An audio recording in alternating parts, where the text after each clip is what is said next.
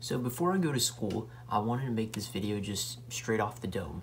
And I wanted to talk about finance YouTubers for a second.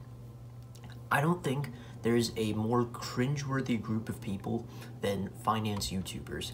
I mean, seriously, these guys, they tell you, oh, go invest in S&P 500, go invest in NASDAQ, whatever, right? And it's it's such cringe stuff because all their, and I've seen some of these videos, and I used to be one of these people who'd watch this type of content on YouTube they all just say the same thing over and over and over again. It's like the Graham Stephans of the world, the uh, what's that guy's name, Dave Ramsey, and who's the other guy, Meet Kevin, right? All these guys, they say the same freaking thing in every single video, right? And let me let me just show you guys this. Right, this right here. I don't know if you can see it, right? Or that is a Discover It card right? And I'm showing you this because all these YouTubers make a big deal about when you turn 18, get a credit card or whatever, right? It's not, it's not fucking difficult to do. I've done it. It's not difficult. Now, why are these YouTubers wasting so much time and money and energy trying to tell you to get a credit card and stuff? It's stupid. It, it, quite frankly is stupid. And I had this realization only a few days ago that just how stupid it is.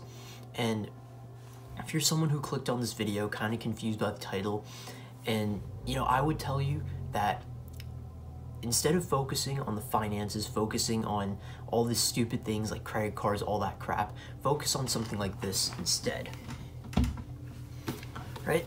This right here is my journal. I write in it pretty much every other day, every other two days, right? Uh-huh.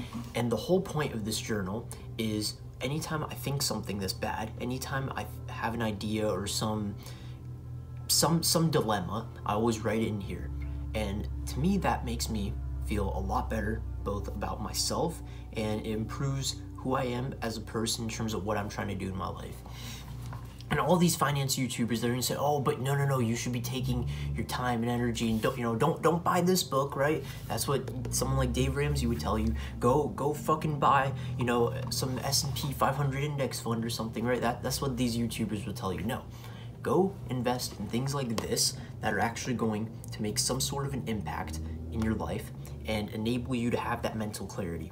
Because once you have the mental clarity, once you have the ability to actually actually function on some sort of normal level, I think then that's when you start to see the results.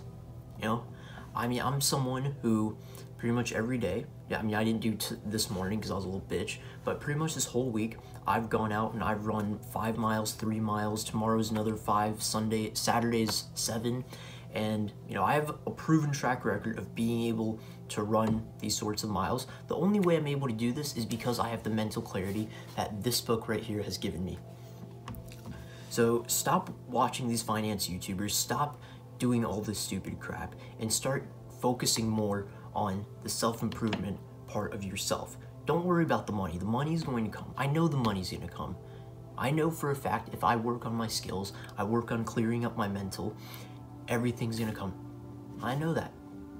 So I just want to make this video, get this off my chest.